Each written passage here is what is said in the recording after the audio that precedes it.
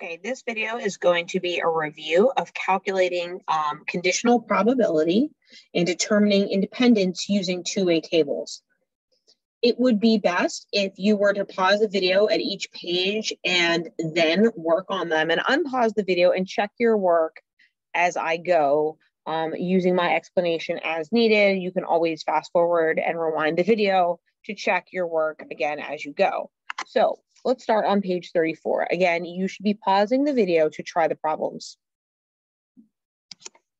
So we already have the 1000 here. Um, and we wanna know uh, all these different probabilities. Let's get the table filled in first. And first we need to know, let's see, we've got students who like pizza. So that's gonna be 354. And ninth graders is gonna be five 66. And 10th graders who like pizza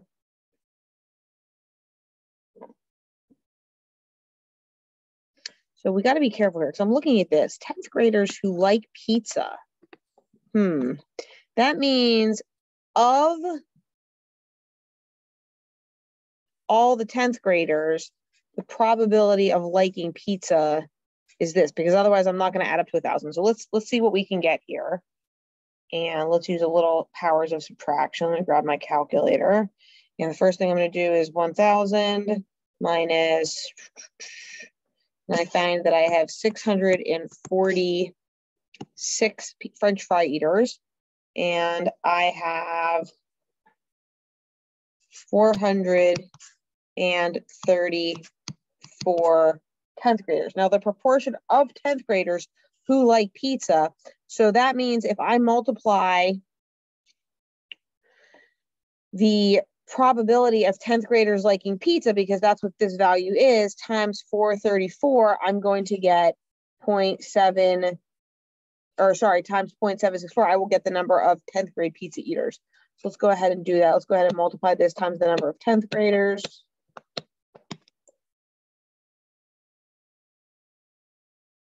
And I have rounded to the nearest whole person. And that means.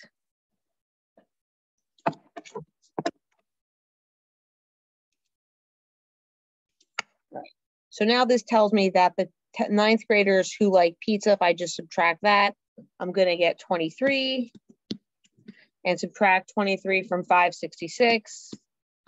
And I've got 543 and a little more subtraction gives me 103 10th grade french fry eaters. And so now I'm ready to start completing the table. So the first few are going to go pretty easily. Um, the probability of not liking pizza, in other words, the probability of liking french fries is just going to be 64.6%. I'm just simply dividing this number here by a thousand. And same thing for the probability of not being a ninth grader, in other words, being a 10th grader is simply going to be 43.4%. So now I'm going to get into some slightly trickier probabilities. And I'm going to have to do a little erasing, so you're going to have to stick with me. The probability of liking pizza, given that you are a ninth grader, I'm only looking at this ninth grade column. And I'm going to take the total number of ninth graders and I'm going to divide them by the 23 pizza eaters to get 23 out of 566.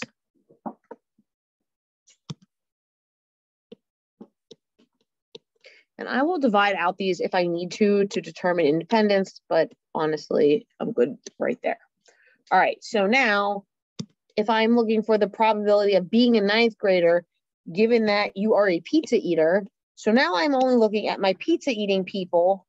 So out of the 354 pizza eaters, only 23 of them are in the ninth grade. So I'm going to have 23 out of 354. Now, going back to my ninth graders, what probability, what's the probability if I know you are a ninth grader, all right, if I know you're a ninth grader, what's the probability that you are not a pizza eater? In other words, you're a french fry eater, is going to be 543 out of 566. I'm going to stop circling. Um, I'll like kind of over hover over. I don't know. The pen's very small. So now the probability of not P given not G, not G is ninth graders. My total number of ninth graders, or sorry, of 10th graders is 434. Of my 434, 100, this is very small, 103 of them prefer not pizza. In other words, prefer french fries. P of not G given P. So the P row I'm going to look at, my total amount is going to be my 354 pizza eaters. And of those pizza eaters, how many of them are not in the ninth grade? Would be the 331 10th graders. And finally, probability of not G, in other words, the probability of 10th grade given not P, so not pizza is French fries. I have how many French fry eaters? I have 646 French fry eaters. And of those 646 French fry eaters, I think I said three, sorry, 103 of them are 10th graders. All right, so the bottom says, are the events preferred food? So in other words, event P and grade event G independent. So from yesterday's lesson, we know the best way to show independence is find the probability of the first event and then the probability of the first event given that the second event has occurred. So let's go back and look at our list here. P of P, oh, we actually don't have that, but that's not hard to get because, you know, it's out of a thousand. So we have 35.4%. So now P given G, oh, we have, oh, we do have that one. 23 out of 566. Let's write that down. 23 out of 566. I'm pretty sure that is not 34, 5%, but just for fun, divided by 566. Sure enough, that is 4%. We can conclusively say that because P of P does not equal P of P given G,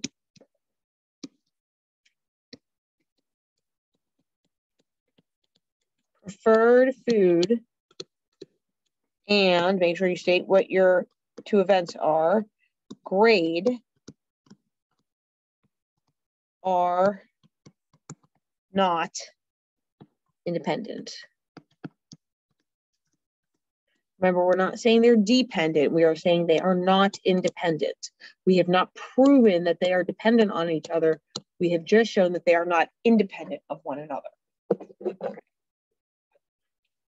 So again, today is a review day. So the best way to handle this is to pause the video and work on a few problems. And then after that, come back, turn the video back on, check your work, um, fast forward, rewind as necessary. So if you've already started the problems, here we go.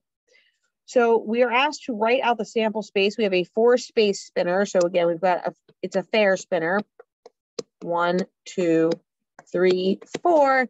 And we have a fair coin, which is heads and tails. So four choices on the spinner and heads or tails gives me eight possible outcomes. I could do one heads, I could do one tails. I could do two head. I always like saying two heads. I think that's funny, two heads. Or I could do two tails. Three heads are better than two heads.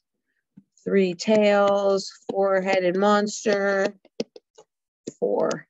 Okay, so these are the eight items in my sample space. And now I'm gonna look at the three events listed in B and see what the probability of each is. So flipping heads and landing on a four, well, that's pretty obvious. There's only one way to get heads and four, which is going to be one out of eight. Because I'm not comparing these, it is perfectly acceptable to leave them as fractions. As a habit, we should reduce our fractions if they reduce. So flipping tails and the spinner landing on an even number. So we could do two tails, we could do four tails. So that's going to be two out of eight or one fourth. I should not have to tell you on a fraction like two out of eight to reduce it to one fourth. The ones in the warm up are different. Those numbers are ridiculous, but two eighths reduces to one fourth. Please make it so. Flipping heads and rolling a number greater than two. So that would be heads, three, heads, four. And again, we have two eighths, which is one fourth. Now, Letter C says, based on the definition of independence, explain why the probabilities of the events flipping tails and spinning a one are independent, less the word are, are independent or not independent. So let's be clear, the probability of flipping tails. Now you can just say this is 50%. We know it's a coin 50-50. If we are using the sample space, four out of the eight are tails, and then that is the same thing as 50%. Okay, so see like four tails. Now, either way, you're just going to go with 50%. And then you have to say that the probability of tails, given that you have spun a one. So if I look at the ones, only the ones, like right here, how many of them are tails? One. So one out of two is also 50%. And we can say that because P of T equals P of T given one, the events, this pen does not pick up my handwriting super great. Sorry about that. The events flipping tails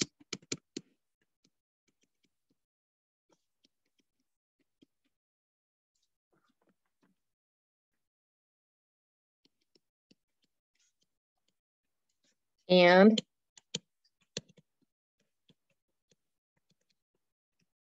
spinning a one are independent. Knowing that you have spun a one does not change the probability of flipping tails. So based on the definition of independence, um, flipping heads and spinning an odd number, are they independent or not independent? So the probability of heads is 50%. Again, you're flipping a coin or it's four out of four out of 10. Four out of eight, I said four out of 10. And then we've got the probability of spinning an odd number. So heads given odd. So let's just go up to the top here. Let's switch to a highlighter. Um, odd number odd number, right? So there are four odd numbers that I've circled here in green, and two of them have heads. So heads given odd is going to be two out of four, which is the same thing again as 50%. Let me see if I can.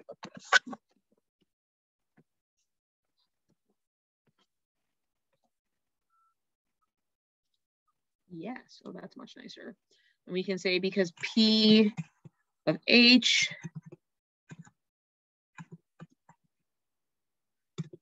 equals P of H given odd. The events. Flipping heads and spinning an odd number. Are independent, please make sure you state the two events in your final conclusion. Again, you should be pausing the video and not just copying down my work. That's how we make sure we're ready. So on page 37, you've got um, a situation here where we've surveyed freshmen and sophomore and we've got their drink preferences. So let's take a look at what we've got. The first thing we're looking for is the probability that a student chosen at random prefers Gatorade. Now this is lovely because it's out of 100 and I'm super excited about this. So we've got just 35 out of 100 is 35%. The probability that selected at random is, there's my verb, a freshman who prefers soda. There are 36 freshmen who prefer soda. So 36 out of 100 is 36%.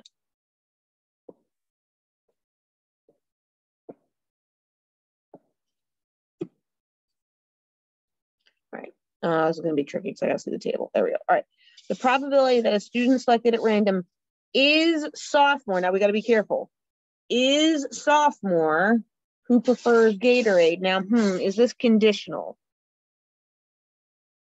So let's take a look at C and D because some people are going to be like, yeah, it's the same.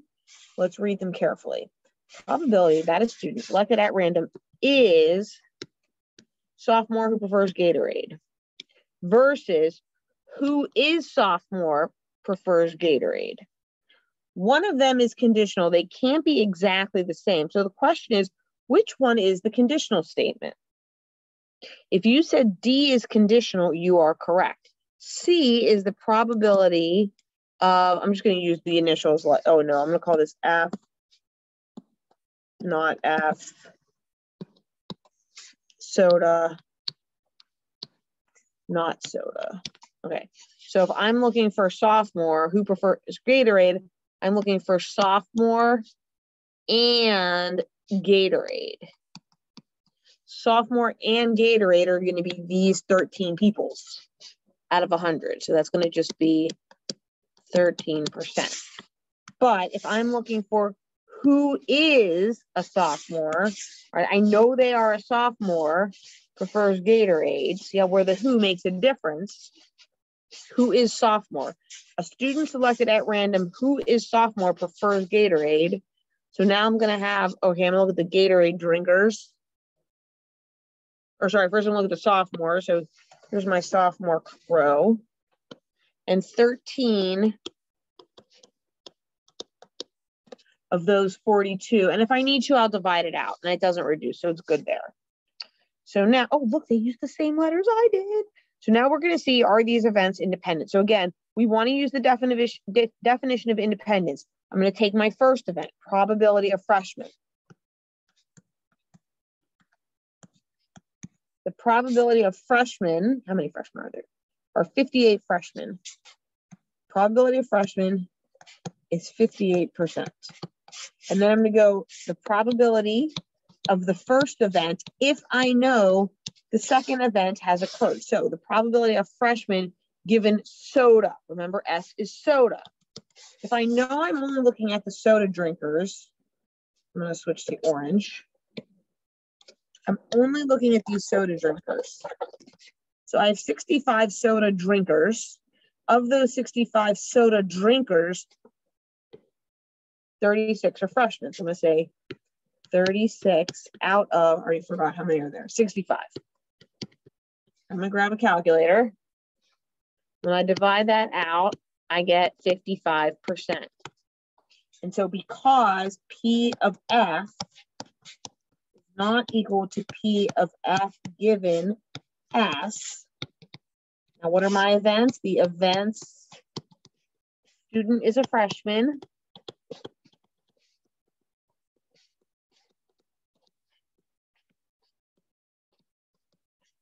And student prefers soda are not independent.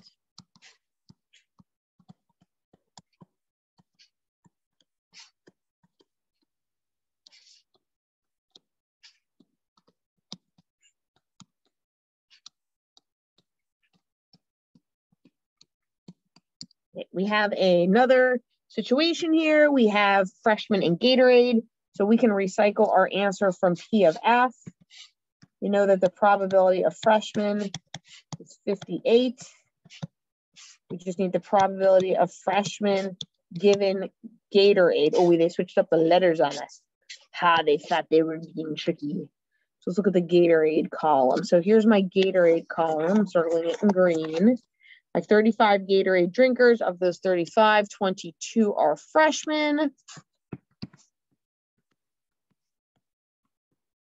I'm gonna grab my handy dandy calculator and it's close. Oh, I forgot the percentage. It's closer, but no cigar. 63%. So we can say because P of F, you must put this statement in your write-up is not equal to the probability of F given Gatorade. The, uh, I need to switch to typing. It just looks like trash.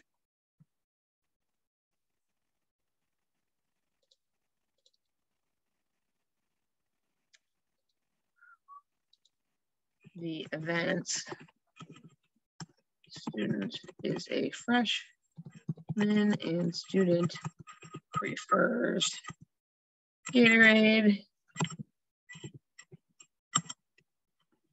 are not dependent. Cool. Let's see, we got one more um, we need to check on.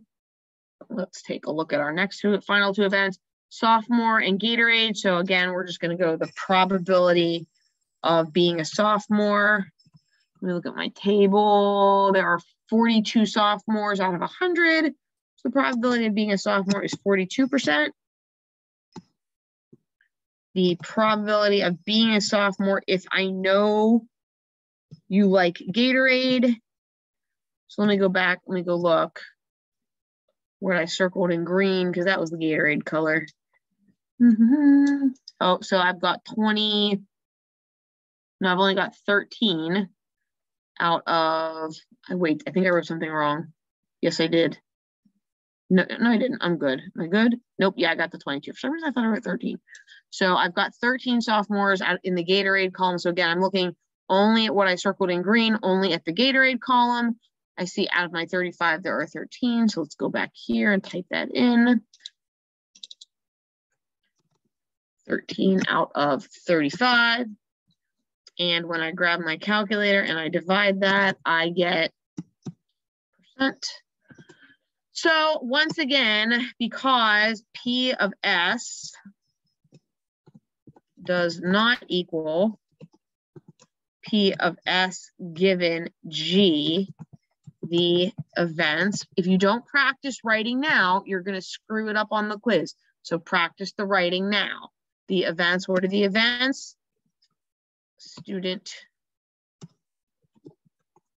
is a sophomore. Please make sure you plagiarize um, with your spelling. If you misspell sophomore and it's on the paper, it's sad.